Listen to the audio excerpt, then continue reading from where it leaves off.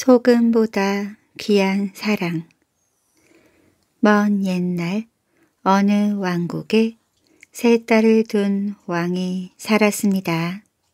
첫째는 갈색 머리, 둘째는 빨간 머리, 셋째는 금발머리 아가씨였어요. 첫째는 평범했고 둘째는 소박했으며 지졸라라는 이름의 막내는 셋 중에서 가장 아름답고 마음씨도 고왔습니다. 그래서 두 언니는 막내 동생을 질투하고 미워했어요. 한편 왕에게는 세 개의 옥자가 있었는데 첫 번째는 하얀색, 두 번째는 빨간색, 세 번째는 검은색이었습니다. 왕은 기분이 좋을 때면 하얀색 옥자에 앉았고 기분이 좋지도 나쁘지도 않을 때는 빨간색 옥자에 앉았고 화가 났을 땐 검은색 옥자에 앉았습니다. 어느 날 왕은 검은색 옥자에 앉아 있었어요. 첫째 딸과 둘째 딸에게 화가 나 있었기 때문입니다. 그러자 어찌된 일인지 첫째 딸이 찾아와 물었습니다. 아버지, 지난밤 잠자리가 불편하셨어요? 검은색 옥자에 앉아 계시니 말이에요. 설마 저 때문에 화가 나신 건 아니죠? 바로 맞췄다. 난 너 때문에 화가 났어. 왜요, 아버지? 네가 이 아비를 사랑하지 않기 때문이지. 저는 아버지를 사랑해요. 아버지는 제게 너무나 소중한 분이세요. 그래? 그렇다면 내가 너에게 얼마나 소중한 사람인지 말해보아라. 아버지는 제게 빵만큼이나 소중하세요. 왕은 코웃음을 칠 뿐 아무 말도 하지 않았습니다. 하지만 사실 왕은 딸의 대답이 무척 마음에 들었어요. 다음 날 둘째 딸이 왕을 찾아왔습니다. 아버지 안녕히 주무셨어요? 왜 검은색 옥자에 앉아 계세요? 설마 저한테 화가 나신 건 아니죠? 너한테 화가 났다. 왜요? 왜 저한테 화가 나셨어요? 너는 이 아비를 조금도 사랑하지 않으니까. 전 아버지를 사랑해요. 아버지는 제게 너무너무 소중한 분이세요. 그래? 그렇다면 내가 너에게 얼마나 소중한 사람이냐? 아버지는 제게 포도주만큼이나 소중하세요. 왕은 무언가 알 수 없는 말을 중얼거리긴 했지만 분명 기뻐하는 표정이었습니다. 이번엔 막내딸이 무척 쾌활한 표정으로 왕을 찾아왔어요. 아버지 안녕히 주무셨어요? 왜 검은색 옥자에 앉아 계세요? 혹시 제가 언짢게 해드린 일이라도 있나요? 그렇구나. 넌 날 사랑하지 않으니까. 저는 아버지를 사랑해요. 아버진 제게 세상에 둘도 없이 소중한 분이세요. 그래? 그럼 내가 너에게 얼마나 소중한 사람인지 말해보아라. 아버진 저에게 소금처럼 소중한 분이에요. 그러자 왕은 불같이 화를 냈습니다. 소금? 소금처럼 소중하다고? 이 녀석 당장 내 앞에서 사라져거라. 다시는 너를 보고 싶지 않다. 화를 참지 못한 왕은 시종들에게 막내딸을 숲으로 쫓아버리라고 명령했습니다. 막내딸은 끔찍이 사랑하는 왕비가 이 소식을 듣고 딸을 구할 방도를 궁리했어요. 궁전에는 커다란 은촛대가 하나 있었는데 사람이 들어가 숨을 수 있을 만큼 밑부분이 넓었습니다. 왕비는 막내딸을 촛대 안에 숨겼어요. 이 은 촛대를 시장에 내다 팔아라. 왕비가 평소에 가장 신이 많은 하인을 불러 말했습니다. 촛대값을 묻는 사람이 있거든 가난한 자면 비싼 값을 부르고 부유한 귀족이면 노래 한 곡만 불러줘도 팔겠다고 해라. 그렇게 해서라도 꼭 팔아야 한다. 그러고 나서 왕비는 거리의 정육점과 초콜릿 가게, 쿠키 가게가 있는 곳까지 촛대를 따라가며 막내딸에게 이것저것 당부의 말을 해주었습니다. 그리고는 마지막 작별에 입맞춤을 했어요. 하이는 은촛대를 가지고 마을 광장으로 나왔습니다. 곧 사람들이 모여들었어요. 하이는 값을 물어오는 자가 마음에 들지 않으면 무척 비싼 값을 불렀습니다. 그런데 때마침 길을 지나던 이웃나라의 왕자가 은촛대를 유심히 보더니 값을 물었습니다. 하이는 왕자에게 말도 안 될 정도로 싼 값을 불렀고 왕자는 촛대를 궁전으로 가져가게 되었습니다.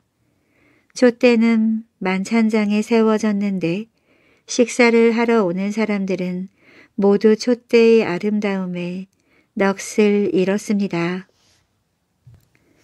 매일 저녁 왕자는 사교 모임이나 여러 행사에 참석하느라 밤늦게 돌아왔습니다. 왕자는 궁 안 사람들이 늦은 밤까지 자기를 기다리게 하고 싶지 않았습니다. 그래서 보통 하인들은 왕자의 저녁을 식탁에 차려놓고 먼저 잠자리에 들었어요. 한편 하인들이 모두 물러가고 만찬장에 아무도 없는 걸 확인한 지졸라는 촛대에서 폴짝 뛰어나와 식탁에 차려진 음식을 몽땅 먹어치웠습니다. 그러고 나서 다시 촛대의 기둥 속으로 들어가 숨었습니다. 늦은 밤 궁으로 돌아온 왕자는 음식이 하나도 남아있지 않은 걸 보고 종이란 종은 모두 울려 하인들을 깨워서 크게 꾸짖었어요. 하인들은 맹세코 저녁 식사를 차려두었으며 개나 고양이가 훔쳐 먹은 게 틀림없다고 왕자에게 말했습니다. 한 번만 더 이런 일이 생기면 너희들 모두 내쫓아 버릴 테니 그리 알거라. 왕자는 하인들에게 다시 식사를 준비시켜 늦은 저녁을 먹고 나서 잠자리에 들었습니다. 하지만 이튿날 저녁 궁전 안의 모든 문을 잠갔는데도 어제와 똑같은 일이 벌어졌습니다. 왕자는 궁전이 떠나가라 고래고래 소리를 질렀어요. 내일 밤 내가 어떻게 하는지 두고 봐라. 음식 도둑을 잡기 위해 왕자는 과연 어떻게 했을까요? 왕자는 바닥까지 내려오는 식탁볼을 깔게 하고는 식탁 밑으로 몸을 숨겼습니다. 하인들은 각양각색의 맛있는 음식들을 내와 상을 차린 다음 개와 고양이를 밖으로 내몬 후 만찬장의 문을 잠그고 물러갔습니다. 그러자 하인들이 나가기가 무섭게 막내가 촛대에서 나와 왕자의 음식들을 마음껏 먹고 마시는 것이었어요. 그 모습을 본 왕자는 식탁 밑에서 뛰쳐나와 공주의 팔을 재빨리 낚아챘습니다. 깜짝 놀란 막내는 도망치려 했지만 그럴수록 왕자는 더욱 팔에 힘을 주었어요. 결국 지졸라는 왕자 앞에 무릎을 꿇고 이곳에 오게 된 자초지종을 털어놓았습니다. 사실 왕자는 막내를 처음 본 순간 사랑에 빠지고 말았습니다. 왕자는 막내를 진정시킨 다음 이렇게 말했어요. 지금 이 순간부터 당신은 나의 신부가 될 것이요. 하지만 우선은 좆대로 돌아가 몸을 숨기고 있으시오. 왕자는 침대에 누워서도 사랑스러운 막내를 생각하느라 밤새 잠을 이룰 수가 없었습니다. 아침이 되자 왕자는 은초대를 자신의 방으로 들이라고 명령했어요. 은초대가 너무나 아름다워서 밤에도 옆에 두고 싶다고 말입니다. 그런 다음 식사를 침실로 들여오라고 했습니다. 물론 배가 몹시 고프니 두 사람분의 음식을 준비하라는 말도 덧붙였지요. 그때부터 하인들은 커피와 따끈따끈한 아침 식사를 얼마 후부턴 저녁 식사까지 전부 왕자의 침실로 가져갔습니다. 모든 식사는 두 사람분이었어요. 하인들이 식기를 내려놓고 방을 나서기가 무섭게 왕자는 문을 잠근 다음 막내를 촛대 밖으로 나오게 하여 즐겁게 식사를 했습니다. 한편 만찬장에서 홀로 식사를 하는 신세가 된 왕자의 어머니는 한숨을 내쉬었어요. 대체 이 어미에게 무슨 섭섭한 마음이 있기에 같이 식사도 하지 않는단 말이냐. 내가 그 아이에게 잘못한 거라도 있나? 왕자는 어머니가 침실에서 왜 나오지 않느냐고 물을 때마다 그저 혼자 있는 시간이 필요하니 조금만 더 기다려 달라고 말할 뿐이었습니다. 그러던 어느 날 마침내 왕자가 어머니에게 선언을 했습니다. 저 결혼하겠어요. 그래? 신부가 누구냐? 왕비가 뜻밖의 소식에 기뻐하며 물었습니다. 저는 은초대와 결혼하겠어요. 내 아들이 드디어 미쳐버렸구나. 왕비가 두 손으로 눈을 가리며 울부짖었습니다. 하지만 왕자의 표정은 너무나 진지했어요. 왕비는 다른 사람들이 뭐라고 떠들어 댈지 생각해 보라고 제발 이성을 찾으라고 아들을 설득했지만 왕자는 조금도 생각을 굽히지 않았습니다. 오히려 왕자는 신하들을 불러 일주일 안에 결혼식 준비를 모두 마치라고 명령했어요. 약속된 결혼식 날 긴 마차 행렬이 궁전을 출발했습니다. 왕자는 은초대를 곁에 두고 맨 앞에 마차에 탔습니다. 마차가 성당에 도착하자 왕자는 은초대를 재단 위로 옮기게 했습니다. 재단에 은초대를 세우자마자 입구가 열리더니 아름답게 수놓은 비단 드레스를 입고 셀 수 없이 많은 보석으로 치장한 막내 공주가 눈부신 광채를 뿜으며 걸어 내려왔습니다. 아름다운 신부의 모습에 손님들은 모두 깜짝 놀랐어요. 결혼식을 마치고 궁전으로 돌아와서야 왕비는 그동안 있었던 일에 대해 전부 들을 수 있었습니다. 본래 재치가 넘치는 사람인 왕비는 무슨 좋은 생각이 떠올랐는지 이렇게 말했습니다. 나머지 일은 내게 맡겨보렴. 내가 신부의 아버지에게 따끔한 가르침을 베풀어야겠구나. 왕비는 막내 공주의 아버지를 포함하여 이웃 왕국의 모든 왕들을 결혼 피로연에 초대했습니다. 그런 다음 막내의 아버지를 위해서는 특별히 소금을 전혀 넣지 않은 음식을 따로 준비했어요. 하객들이 전부 모이자 신부는 몸이 좋지 않아 피로연에 올 수 없다는 소식이 전해졌습니다.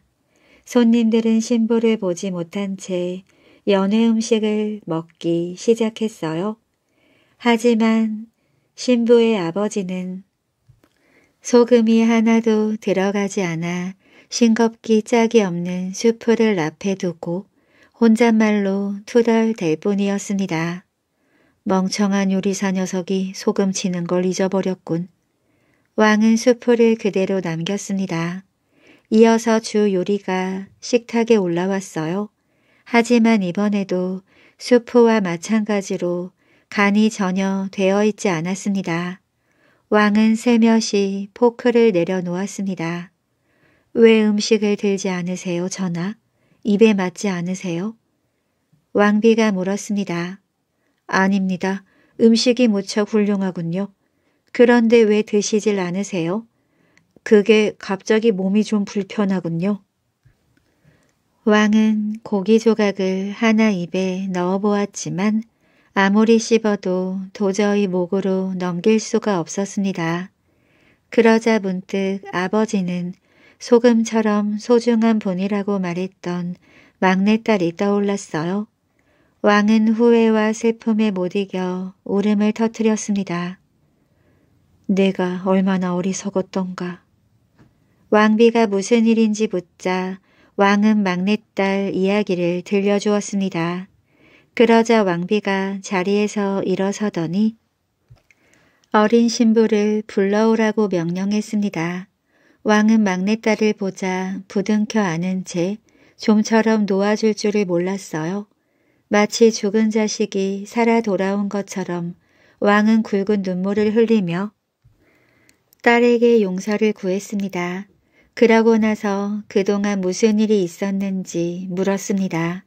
마침내 아버지와 딸은 화해를 하고 행복을 되찾았어요. 그리고 막내딸의 어머니까지 모셔와 새로이 축하연을 열었습니다. 잔치는 매일매일 계속되었어요. 그 잔치는 오늘날까지도 이어져 지금도 막내와 왕자의 가족들은 한자리에 모여 기쁨의 춤을 추고 있다고 합니다. 행복한 젊은이 옛날 어느 먼 나라에 외동 아들을 둔 왕이 살았습니다. 왕은 아들을 끔찍이 아꼈지만 어찌된 일인지 왕자는 언제나 자신이 불행하다고 생각했어요.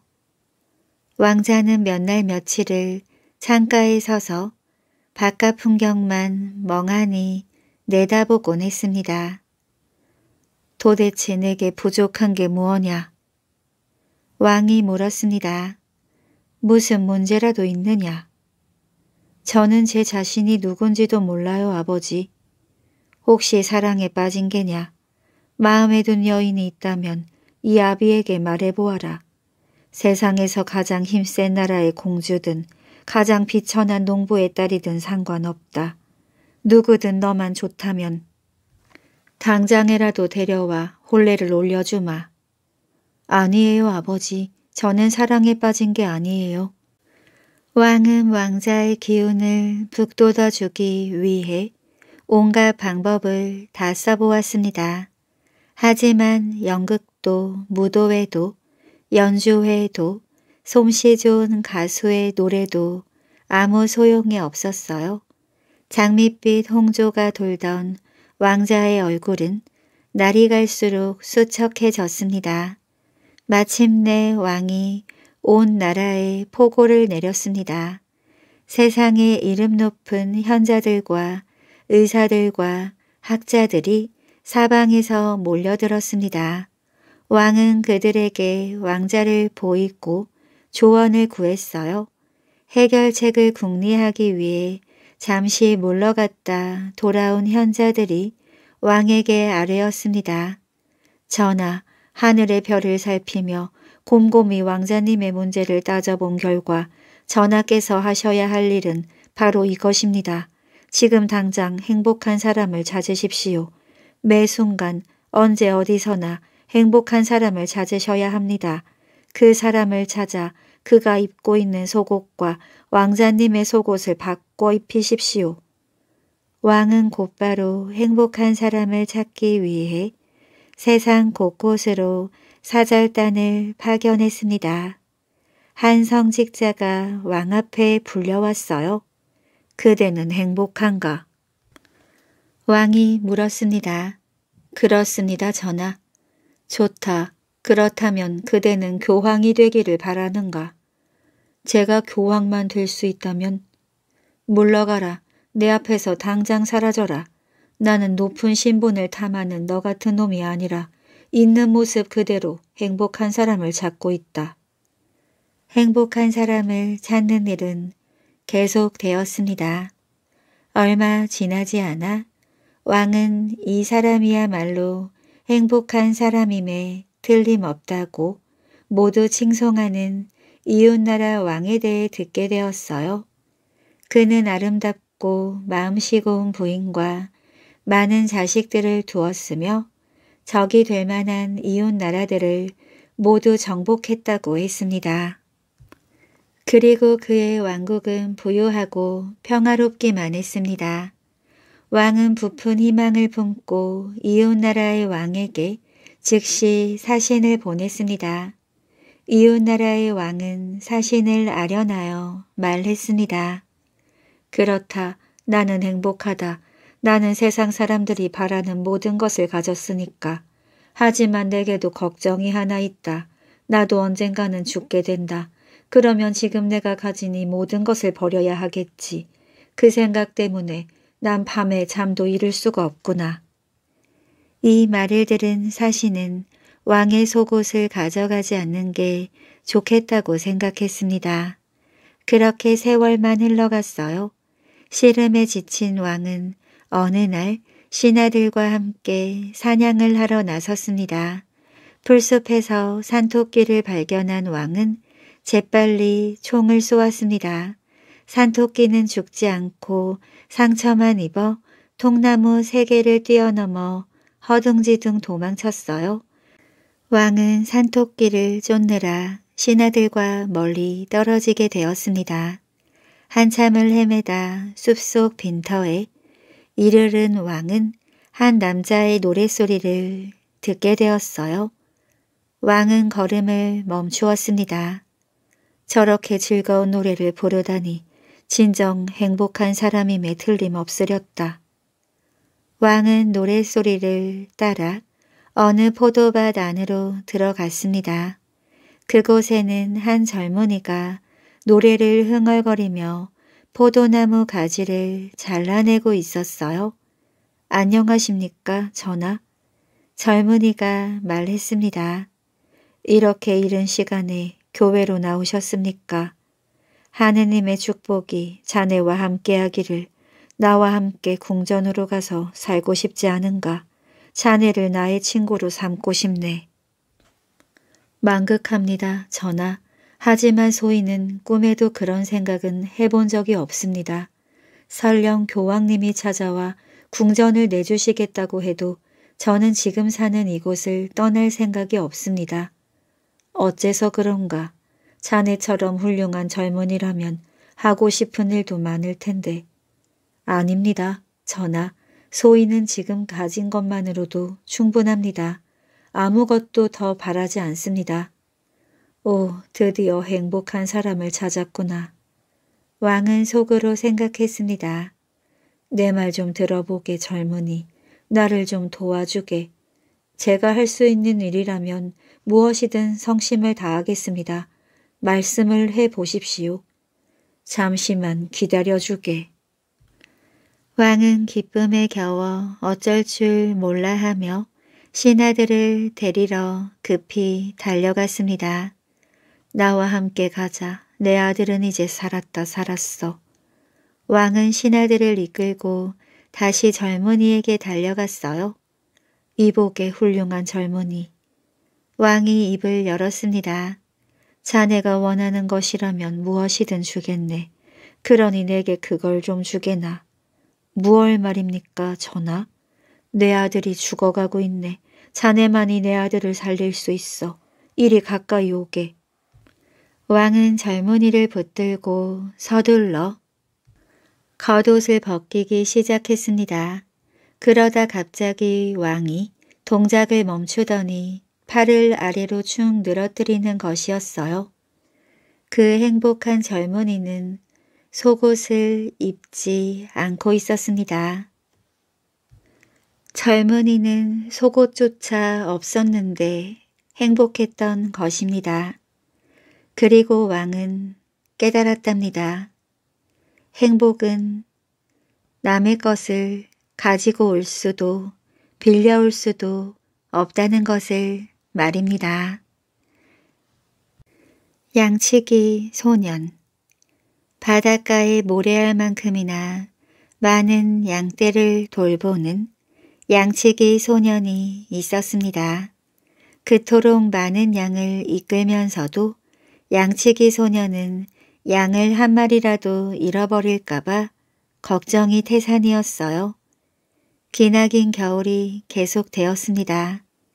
양치기 소녀는 끊임없이 하늘을 올려다보며 겨울의 여러 달에게 빌었습니다. 12월님 제발 자비를 베풀어 주세요. 1월님 제 양들을 얼려 죽이지 마세요. 2월님 은총을 내려주세요. 그렇게만 해주시면 영원토록 베풀어 주신 은혜를 찬양하며 살겠습니다. 양치기 소년의 기도에 귀 기울이던 12월과 1월과 2월은 영원히 은혜를 잊지 않겠다는 소년의 말에 마음이 흡족해져 청을 들어주기로 했습니다. 세 달은 기나긴 겨울 동안 단 한 번의 비나 우박도 내리지 않고 어떤 병도 퍼지지 않도록 조심했어요. 덕분에 양들은 긴 겨울 동안 그 흔한 감기 한번 걸리지 않고 한가로이 풀을 뜯으며 살아갈 수 있었습니다. 시간이 흘러 1년 12달 가운데 가장 심술궂은 3월이 찾아왔어요. 하지만 세상은 여전히 평온한 나날들이 계속되었습니다. 양치기 소녀는 3월의 마지막 날이 왔을 때에야 비로소 그동안의 오랜 근심 걱정에서 벗어날 수 있게 되었다고 마음을 놓았습니다. 봄의 시작을 알리는 4월의 문턱에 와 있으니 이제 양떼는 안전하다고요. 양치기 소녀는 더는 달들에게 자비를 빌지 않았습니다. 그뿐인가요?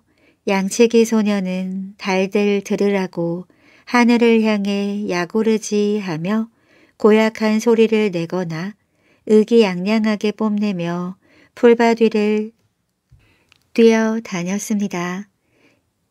이 작달막한 쭈그렁이 삼어라 애송이 주제에 양떼들의 악몽 같은 녀석 이제 누가 널 두려워하겠니?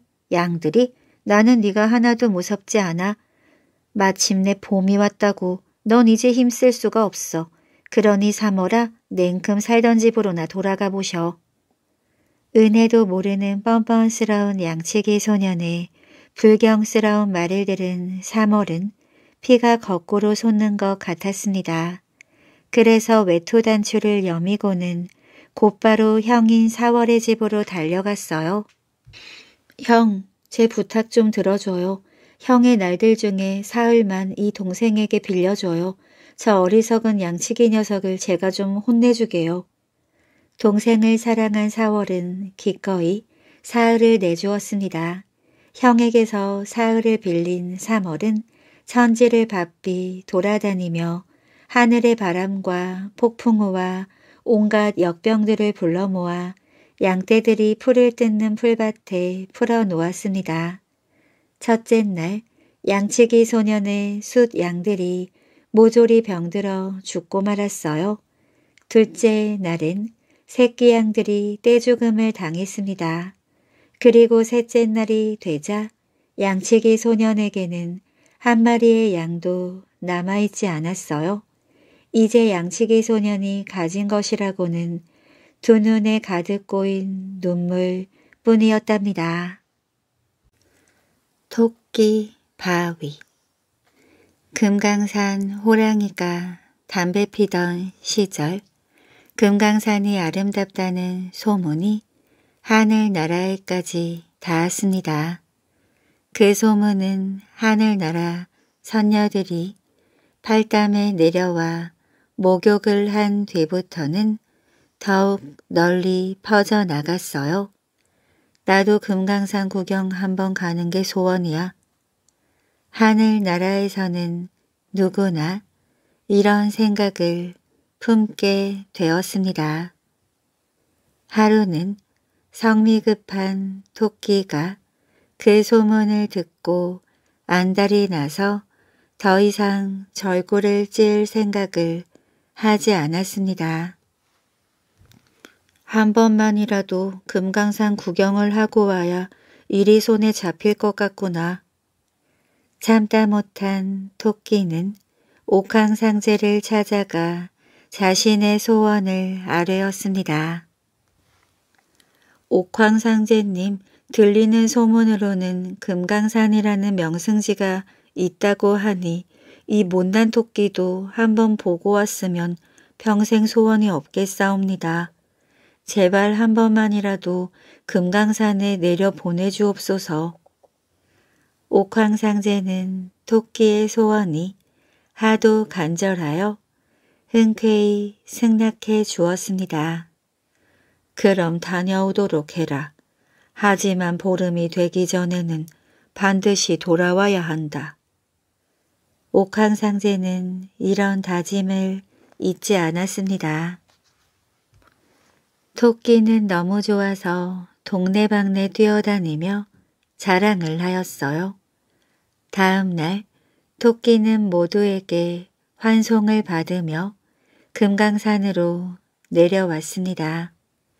제일 먼저 외금강 입구에 도착한 토끼는 세존봉 줄기를 타고 기어 오르다가 금강문 근처에 이르러 완전히 어리동절하고 말았습니다. 눈앞에 펼쳐진 경치가 너무나 아름다워 정신을 잃을 지경이었어요. 천화대, 옥류폭포, 은사류 구룡연 등 어느 것 하나 하늘나라에서는 보지도 못했고 상상도 하지 못한 아름다운 경치였습니다. 어디를 가도 마찬가지였어요. 가면 갈수록 보면 볼수록 금강산은 점점 더 아름다웠습니다. 아름다운 풍경에 도취된 토끼는 시간이 흐르는 것도 잊고 말았습니다. 어느 날 밤 토끼가 동해바다 위를 보니 휘영청 둥근 보름달이 떠오르고 있었어요. 내가 날이 가는 것도 잊어버리고 있었네. 토끼는 그제야 정신이 퍼뜩 들었지만 이미 늦은 뒤였습니다. 벼랑간 하늘에서 옥황상제의 녹이 띈 목소리가 올려왔습니다. 약속을 못 지키는 한심한 토끼야. 너는 예전에 달리기에서 거북이에게 지더니 이번에도 거북이보다 느리게 행동했구나. 그러니 그 벌로 앞으로 아예 거북이가 되거라. 옥황상제의 명이 떨어지자 토끼는 서서히 거북이로 변해갔습니다. 그러나 토끼는 옥황상제의 처벌이 두렵지도 싫지도 않았습니다. 달에서 힘들게 절구질이나 하는 것보다 이 아름다운 금강산에서 실컷 구경을 하며 사는 게 훨씬 좋다고 생각했어요. 토끼는 금강산 절경에 감탄하고 있는 모습 그대로 점점 돌로 굳어져 갔습니다. 나중에 보니 몸은 거북이, 머리는 토끼가 되어 있었어요. 이 토끼 바위는 전망이 좋은 세존봉 중턱에 자리하고 있답니다. 구렁이가 준 구슬 옛날 어느 곳에 부부가 살았는데 나이 마흔이 넘도록 자식을 못 낳았대요. 더 늙기 전에 자식 하나 얻었으면 소원이 없겠다고 늘 칠성당에 치성을 드렸지요. 그러던 어느 날 남편이 산에 가서 나무를 한 짐 해가지고 돌아오는 길에 꿩 한 마리를 잡았습니다. 그 꿩을 집에 가지고 와서 아내에게 고아 먹였더니 어쩐 일인지 배가 불러오더니 다리 차서 아들을 낳았지 뭐예요. 부부는 늙음하게 바라던 아들을 얻었는지라 있는 정성 없는 정성을 다해 고이고이 잘 키웠습니다. 그러다 보니 아들이 나이가 차서 장가 보낼 때가 되었어요. 그래서 좋은 색식감을 얻어가지고 아들을 장가 보냈습니다. 장가 가는 날 아들이 사모간대를 갖추고 말을 타고 색시 집으로 갔습니다. 색시 집으로 가는 길에 어느 모퉁이를 딱 도니까 웬 커다란 구렁이 한 마리가 길을 막아 서는 겁니다. 그래서 아들이 발도 없는 짐승이 어쩐 일로 경사스러운 날 남의 길을 막느냐? 하고 호령을 했지요. 그랬더니 구렁이가 하는 말이 17년 전내 아비에게 잡혀 죽은 꿩이 누군 줄 아느냐? 바로 우리 어머니다. 내가 어머니 원수를 갚으려고 옥황상제님께 빌어서 구렁이가 되어 이를 갈며 너를 기다렸지. 내 어미가 우리 어머니를 먹고 너를 낳았으니 나는 너를 잡아먹어야겠다. 이러는 겁니다. 들어보니 이제는 영락 없이 죽게 되었다는 생각이 들었어요. 장가 가는 날 색시 얼굴도 못 보고 죽게 되다니 이렇게 억울한 일이 어디 있을까요? 신랑이 마음을 가라앉히고 구렁이를 좋은 말로 다 일렀습니다. 네 말을 들어보니 그럴듯하다마는 내가 지금 초행길이 아니냐? 처가에 가서 색시 얼굴이라도 한번 보고 죽게 해다오. 색시를 데리고 돌아오는 길에 다시 만나자. 그랬더니 구렁이도 더 할 말이 없는지 길을 비켜줬습니다. 그래서 무사히 색시 집을 갔어요. 혼례를 다 치르고 전날 밤에 색시한테 그 이야기를 했습니다. 그랬더니 색시가 하늘이 무너져도 솟아날 구멍이 있다고 했으니 무슨 수가 나겠지요. 하면서 걱정 말라고 했어요. 이튿날 색시를 데리고 돌아오는데 바로 그 자리에서 구렁이가 다시 길을 막았습니다. 이제는 약속대로 잡아먹겠다는 거지요. 그때 색시가 나서더니 너야 내 신랑을 잡아먹으면 그만이지만 나는 앞으로 혼자서 어떻게 살라고 그러느냐. 네가 나에게 아무 원한이 없다면 나를 평생 동안 먹고 살도록 해주고 신랑을 잡아먹어야 하지 않겠느냐? 하는 겁니다. 구렁이도 그 말을 들어보니 그럴듯했어요.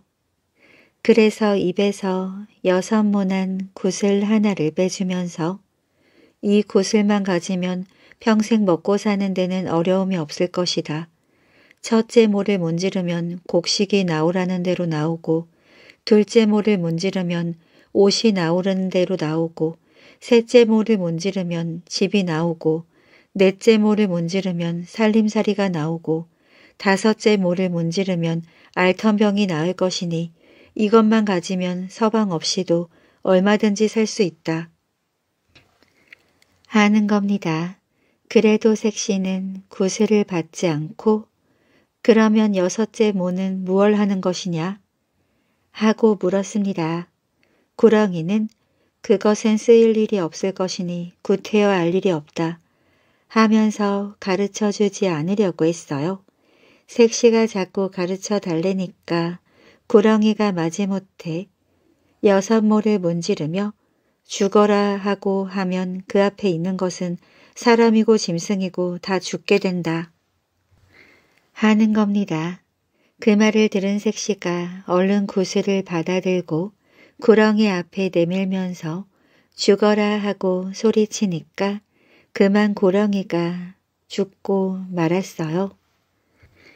이렇게 해서 신랑은 무사히 색시와 함께 집으로 돌아와서 잘 살았습니다. 고렁이한테서 얻은 구슬이 있으니까 먹을 걱정, 입을 걱정 없이 잘 살았지요. 그런데 이 부부가 보물 구슬을 가지고 있다는 소문이 퍼졌습니다. 그러자 건넌 마을에 사는 욕심쟁이 할미가 구슬이 탐이 나서 섹시 혼자 있을 때 이 집을 찾아왔어요.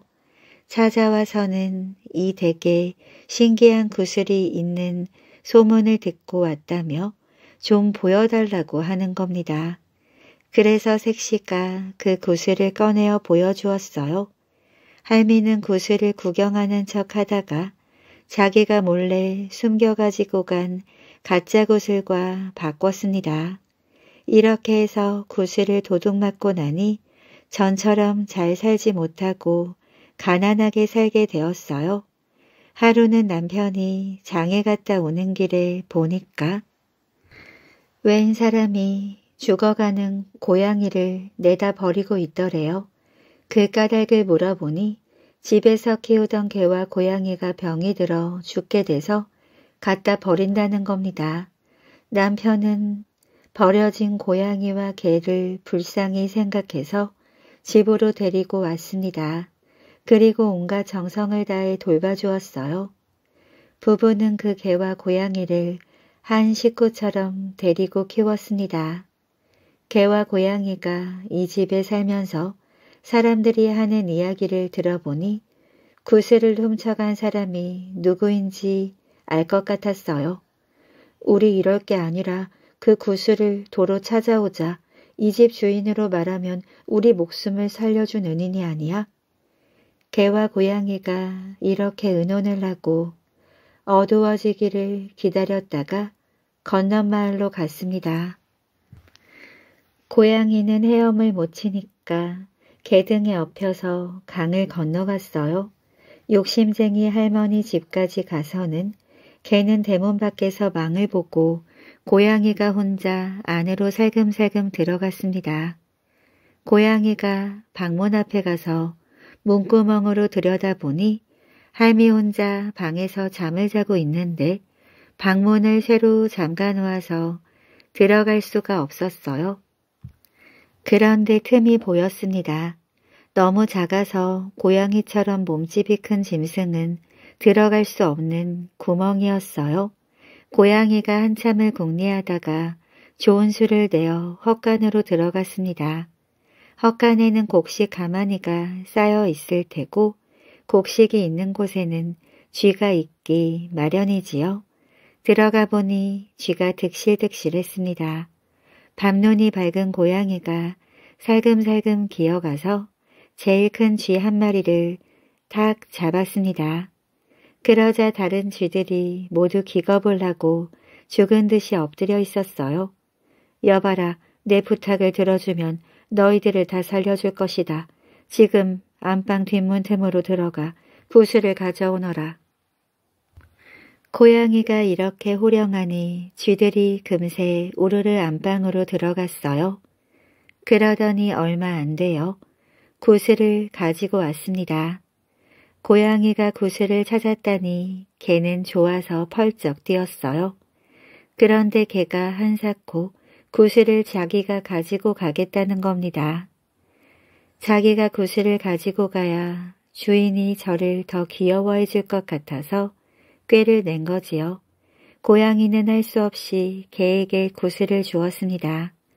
그런데 돌아오는 길에도 또 강을 건너야 하잖아요. 갈 때처럼 개가 헤엄을 치고 고양이는 개 등에 엎혀갔습니다. 개가 내 발로 헤엄을 쳐야 하니까 구슬을 입에다 물고 갔어요. 고양이는 개가 구슬을 잘 가지고 가는지 걱정이 되었습니다.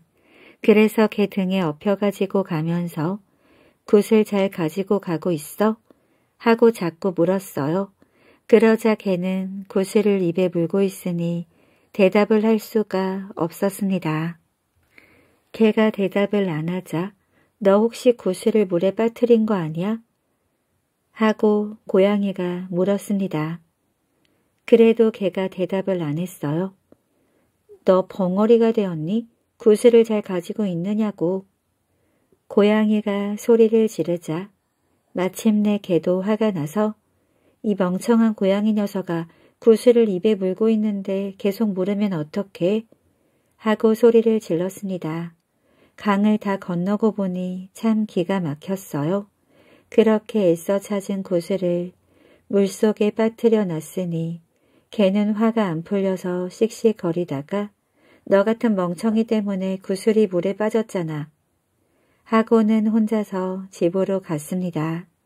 고양이는 혼자서 강둑을 왔다 갔다 하고 있었어요. 이대로 주인을 보러 갈 수는 없었습니다.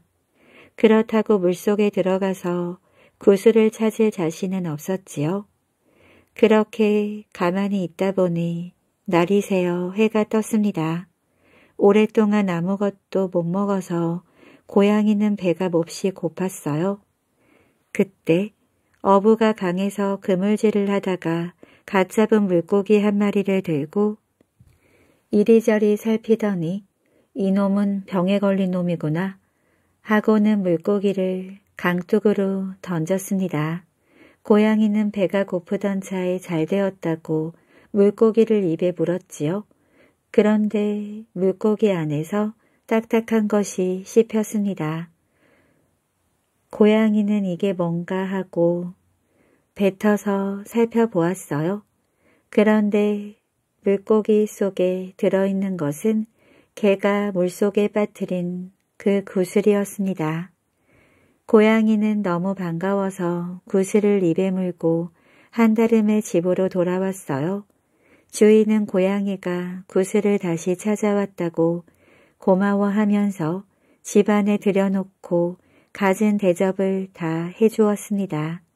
그때부터 고양이는 집 안에서 키우고 개는 집 밖에서 키우게 된 거랍니다. 꾀보 토끼와 영감 옛날에 한 영감이 살았습니다. 이 영감님이 뒷동산에 밭을 일궈 녹두를 심었어요. 녹두가 잘 자라서 잎이 돋고 꽃이 피고 열매가 주렁주렁 열렸습니다. 영감님은 날이면 날마다 녹두밭에 가서 물을 주고 김을 매며 정성껏 가꾸었대요. 영감님네 뒷동산에는 토끼들이 살았습니다.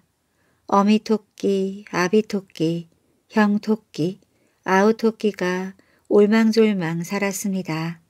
토끼들은 나뭇잎도 뜯어먹고 칡 넝쿨도 잘라먹고 쌀이꽃도 따 먹었지만 그 중에서도 녹두 열매를 제일 잘 먹었어요. 그래서 날이면 날마다 영감님네 녹두밭에 내려와 녹두를 따먹었습니다. 영감님이 그걸 보고 내 이놈들 개 섞어라 하고 소리를 지르며 장대를 꼬나들고 내 다르면 토끼들은 와 하고 산 위로 달아났어요. 영감님이 돌아서서 집으로 들어가면 토끼들은 또 내려와서 녹두를 냠냠 따먹고요. 영감님이 작대기를 들고 나서면 토끼들은 또 산 위로 달아났습니다. 이렇게 날마다 영감님은 토끼들과 숨바꼭질을 했어요. 영감님은 쫓고 토끼들은 쫓기고 영감님은 찾고 토끼들은 숨고 영감님이 돌아서면 토끼들은 또 나오고 이렇게 날마다 숨바꼭질을 했습니다. 하루는 영감님이 좋은 꾀를 냈어요. 눈에다가 대추를 받고 귀에다가 밤을 받고 코에다가 곶감을 받고 입에다가 홍시를 받고 목에다가 모가를 받고 팔에다가 배를 받고 손가락에다가 살구를 받고 배꼽에다 호두 받고 살에다가 석류 받고 밑구멍에다가 유자 받고 다리에다 앵도 받고 발가락에다 자루를 받고서는 녹두밭 한복판에 내 활개를 활짝 펴고 들어 누워서 죽은 척을 하고 가만히 있었습니다.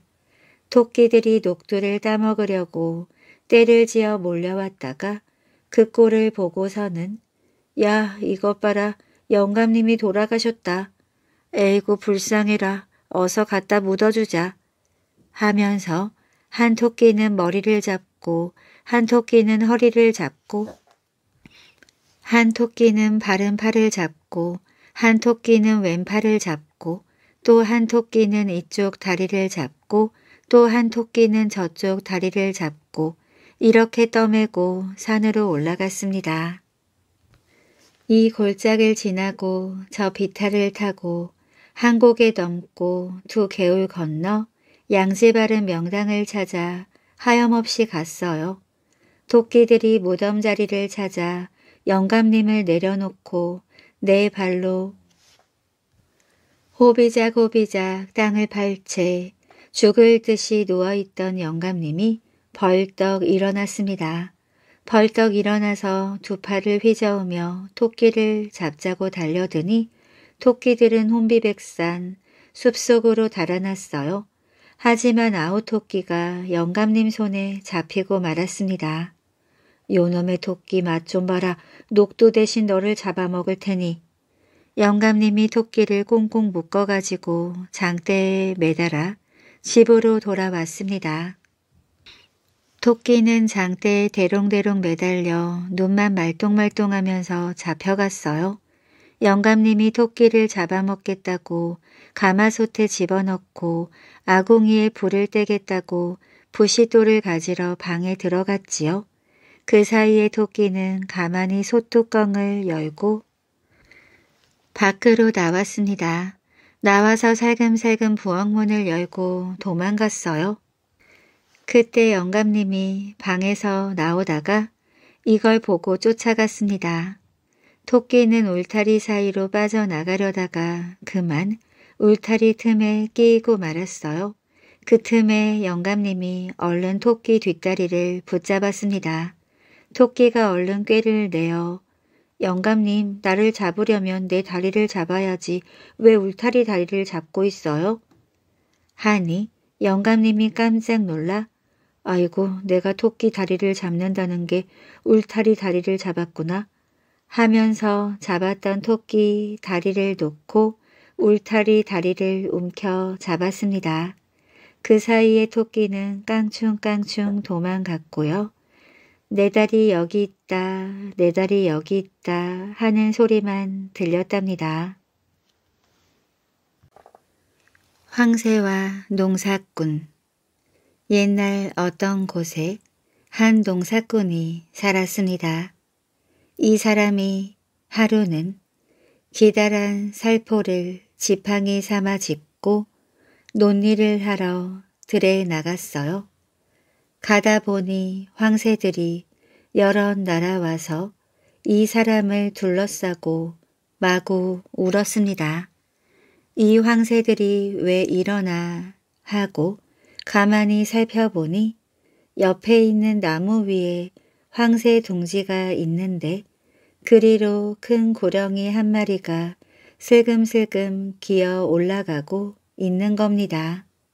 둥지에는 아직 잘 날지도 못하는 황새 새끼들이 슬피 울고 있고 그러니까 황새들이 이 사람을 둘러싸고 우는 것은 아마도 저 새끼들을 살려달라고 그러는 것 같았습니다. 죄 없는 황새 새끼들이 구렁이한테 잡아먹히게 되었으니 너무 불쌍했어요. 그래서 농사꾼이 살포로 구렁이를 찔러 잡았습니다. 살포 끝이 뾰족하니까 창처럼 찌르면 단박에 구렁이를 잡을 수 있었어요. 그래서 구렁이가 죽었습니다.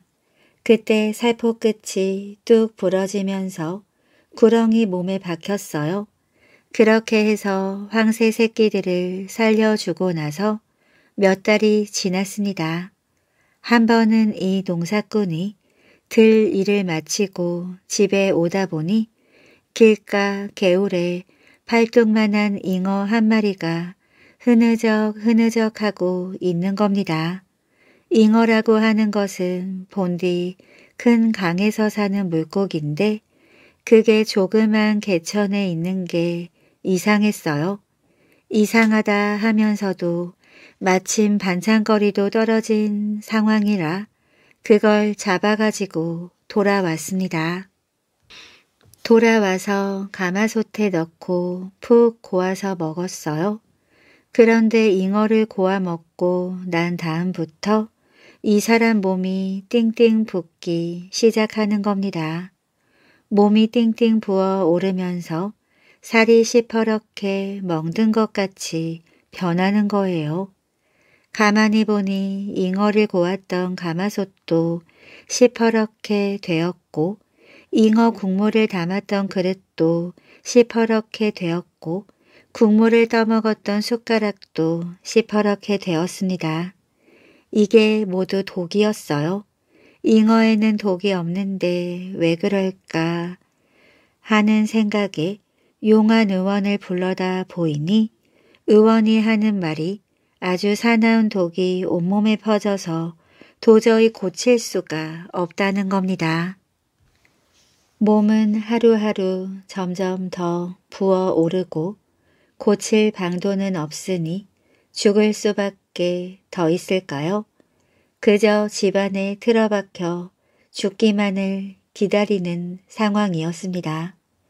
그런데 하루는 난데없는 황새들이 날아와 이 집을 삥 둘러싸고 막 우는 거예요.